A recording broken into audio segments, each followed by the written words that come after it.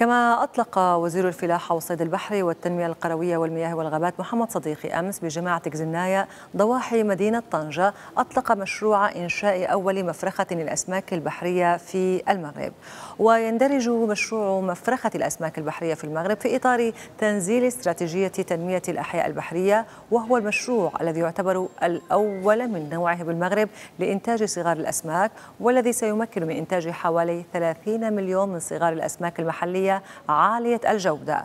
ويتوقع هذا المشروع الوطني النموذجي الهام لقطاع تربية الأحياء البحرية إمداد سلسلة قيمة, قيمة بالقطاع بمصدر للتزويد بصغار الأسماك حيث يعتبر إنتاج صغار الأسماك رافعة رئيسية لضمان استدامة مشاريع تربية الأحياء البحرية المتخصصة في إنتاج الأسماك.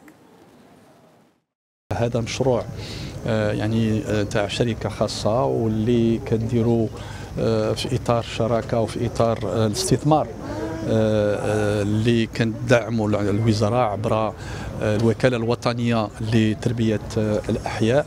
هذا القطاع اللي عنده أهمية قصوى في استراتيجية أليوتيس واللي اولا غادي يسمح باش يكون عندنا إنتاج يعني وافر وكذلك التنمية ديال هذا الإنتاج عبر 3500 كيلومتر نتاع السواحل المغربية.